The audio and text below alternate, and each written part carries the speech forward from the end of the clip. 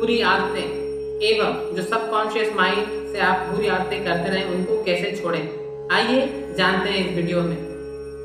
मैं शुभम जोशी आपके सामने लाया हूँ कि कंपल्सन जो आप बुरी आदतें करते रहते हैं, किसी आदत को छोड़ नहीं पाते, ये आपका सबकॉन्शियस ब्रेन बहुत पावरफुल हो गया है। आपका सबकॉन्शियस ब्रेन इतना पावरफुल हो गया है कि उसने कॉन्शियस ब्रेन को जकड़ लिया है। सबकॉन्शियस ब्रेन ने कॉन्शियस ब्रेन को जकड़ लिया है। और आप वही दोहरा रहे हैं। या तो बहुत सारी आपको बुरी आदतें लग चुकी हैं, या आपके मन में ओवर थिंकिंग हो चुकी है, या सिर्फ़ आप एक ही विचार के बारे में सोच रहे हैं। आप उस थॉट आप उस इमोशन या उस एक्टिविटी आप उस एक्शन से बाहर नहीं आ पा रहे हैं। इसे बोलते हैं ओवर थिंकिंग या compulsion behaviour of subconscious compulsion होना। स्वयं के अंदर एक बहुत सारी एक इमोशन, एक इमोशनल वेव, एक समुद्र में जो लहरें आती हैं फिर लहर लौट जाना, और आप फिर से वो गतिविधि कर देते हैं। कुछ भी हो सकता है, जैसे बहुत सारी बुरी आदतें बुरी आदतें, खाने की आदतें, या कुछ भी सबकॉन्शियस का कोई सा भी आप पार्ट ले सकते हैं कि आपके अंदर ये बुरी आदत आ गई। जैसे ही ये बुरी आदत आपके अंदर प्रवेश करती है, धीरे धीरे धीरे धीरे धीरे आपको पता भी नहीं चलता, और ये आपकी सबकॉन्शियस एक्टिविटी बन जाती है। आपको पता नहीं है, लेकिन बाहरी तौर पर जो बाहर से आपको ऑब्ज़र्व कर रहा है, उसको पता चल गया कि इस बंदे के अंदर या इस पर्सन के अंदर, इस व्यक्ति के अंदर यह कंपल्शन एक्टिविटी है। कंपल्सन आपको और आपके सबकॉन्शियस ब्रेन को और आपके अंदर की जितनी भी शक्तियाँ रहती हैं, उनको कमज़ोर कर देता है। बहुत सारे कंपल्शन हो सकते हैं, बहुत सारे नौजवानों में बहुत सारे आजकल कंपल्शन बढ़ते ही जा रहा है। बहुत सारे वो अपने शरीर को, अपने मन को, अपने मस्तिष्क को एवं जो आंतरिक ऊर्जा है, उनको खोते जा रहे हैं। क्षीण होते जा रही है चीज़ें।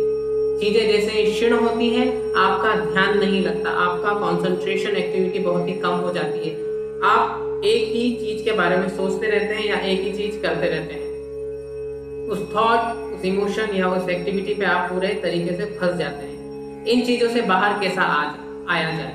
इन चीज़ों से बाहर आने के लिए सर्वोत्तम एवं एक ही बेस्ट इलाज है मेडिटेशन किंतु मेडिटेशन आपसे पहले, जैसे ही आप, क्योंकि आप तो फंस चुके हैं कंपल्सन में, अगर आप ये वीडियो देख रहे हैं, और आपके अंदर कोई सी भी ऐसी एक्टिविटी है जो कि आपको लग रही है कि ये बुरी आदत है तो आप पहले क्या कर सकते हैं कि आप तो पहले ऑब्जर्वेशन करके देखें कि एक्टिविटी है क्या। मेरे अंदर ऐसी क्या चीज़ है जो मुझे कंपल्शन हो रहा है, जो मुझे उस स्तर तक ले जा रही है कि ये आदत बढ़ ही चुकी है।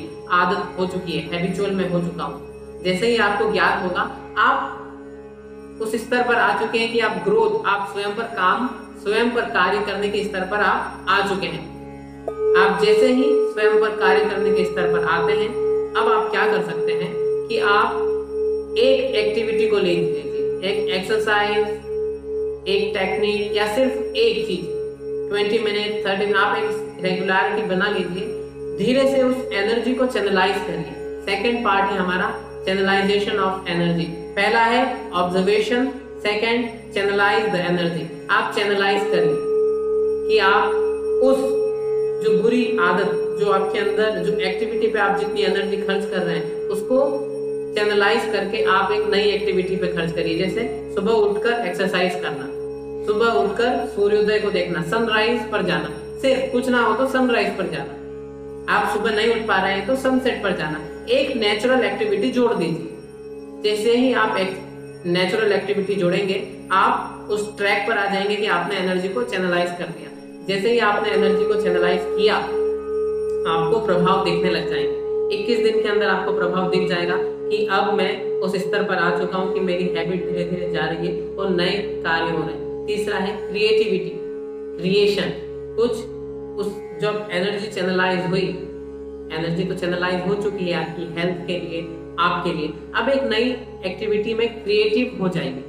कुछ भी क्रिएटिविटी को अपना लीजिए, सत्संग को अपना लीजिए, कुछ भी क्रिएटिविटी स्वयं के अंदर जाके अपना लीजिए आप। राइटिंग स्किल जो कि बेस्ट है स्पीकिंग कम्युनिकेशन कुछ एक एक्टिविटी को अपना लीजिए और उस एक एक्टिविटी जो आपने कुछ भी अपना ली, जैसे समझिए कि आपने एक राइटिंग एक पेज डेली राइटिंग करना स्टार्ट कर दिया। जैसे ही आपको पता चला, आपने ऑब्जर्वेशन टेक्निक को अपनाया, आपने चैनलाइज करी एनर्जी और तीसरा आपने एक पेज डेली राइटिंग करना स्टार्ट कर दिया।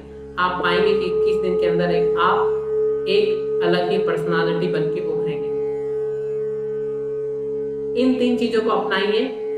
Observation technique first second channelisation of energy और तीसरा क्रिएटिविटी और फिर देखिए कि आपके जो भी कंपल्शन है, वो कैसे चेंज होते हैं। थैंक यू बहुत बहुत धन्यवाद चैनल को हमारे सब्सक्राइब एवं लाइक करने के लिए। नहीं करा हो तो आप सब्सक्राइब कर दीजिए।